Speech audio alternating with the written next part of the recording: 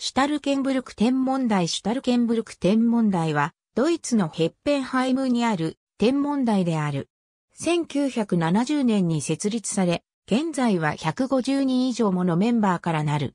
1997年と2003年には、 European Radio Astronomy Congress と呼ばれる会議が開催された。アマチュア天文家が40以上の小惑星を発見し、特に地球近傍小惑星の観測が行われている。小惑星、シュタルケンブルクとヘパンハイムはこの天文台と所在している町の名前にちなむ。シュタルケンブルク天文台にある設備には以下のようなものがある。2019年12月時点で、シュタルケンブルク天文台は53個の小惑星を発見している。このうち、ヘパンハイムとして発見されたものが5個、ストキンバーグとして発見されたものが48個である。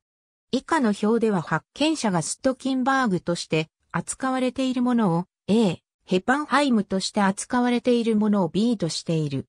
なお、番号なしのものは発見した小惑星として数えられていないので表中には54個の小惑星がある。この表にある小惑星はいずれも天文台で誰が発見したかは MPC による公表はない。そのため、発見者はストキンバーグ、またはヘッパンハイムと表示される。例えばアーサー・デントの場合、ストキンバーグによって発見されたと表示される。ありがとうございます。